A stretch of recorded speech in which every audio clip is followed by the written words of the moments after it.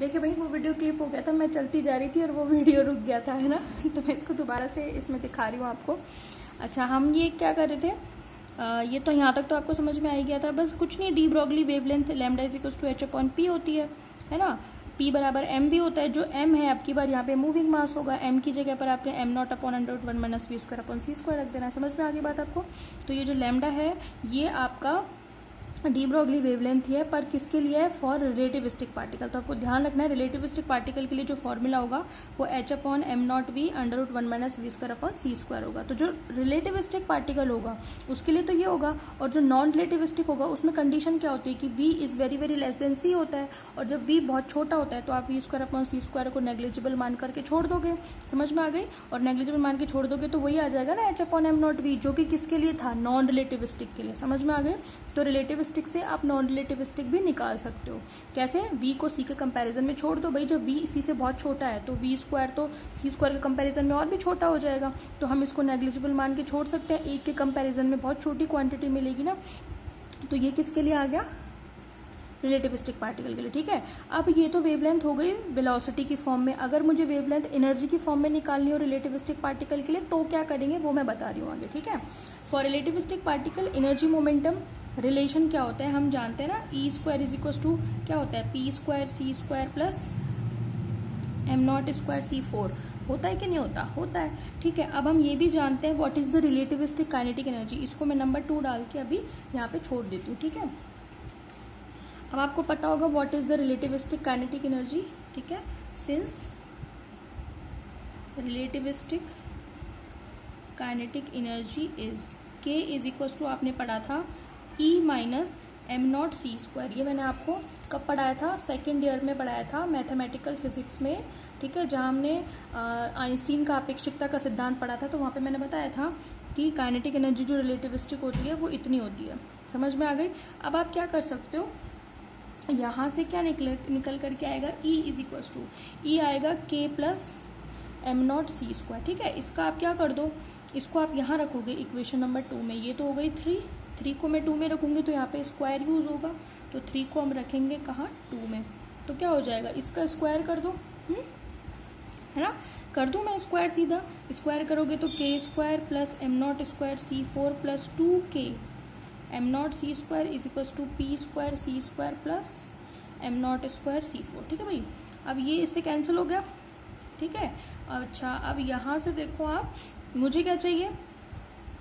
मुझे चाहिए पी समझ में आ गई?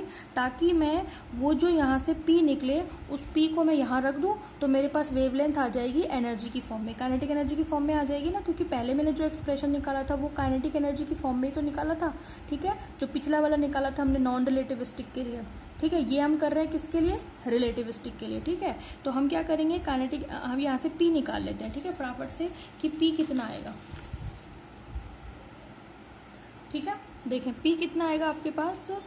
पी इस वाली इक्वेशन से निकालेंगे अपन, इससे।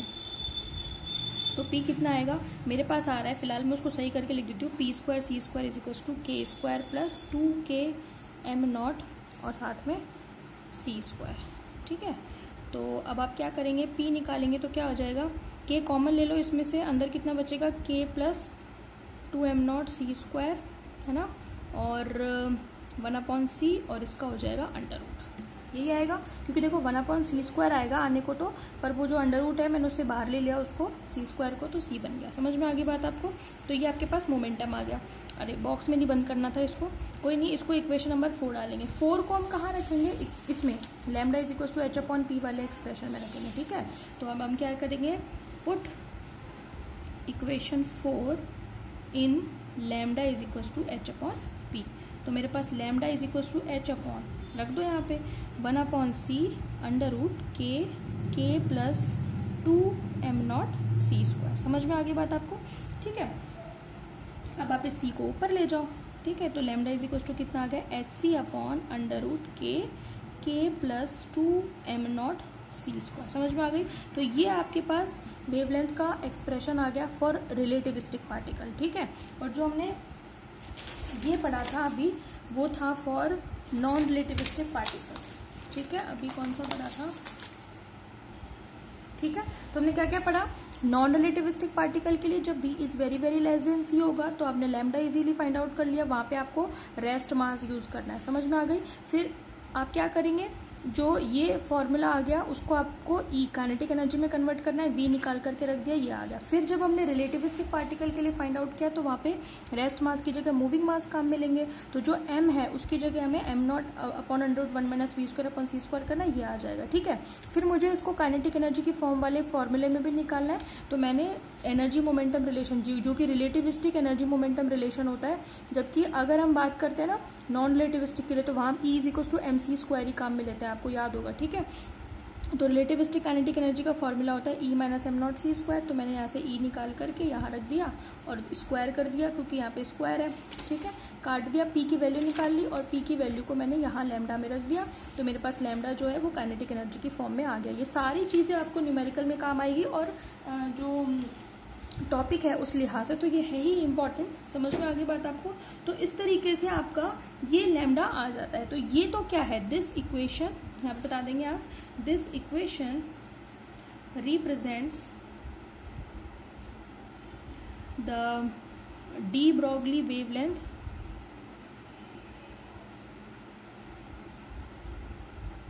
of relativistic particle relativistic particle समझ में आ गई? और जो पिछला था, वो किसमें था? और साथ में लिख देना इन काइनेटिक एनर्जी फॉर्म समझ में आ गई बात आपको? मेरे हिसाब से आपको चारों फॉर्मूला याद हो गए होंगे।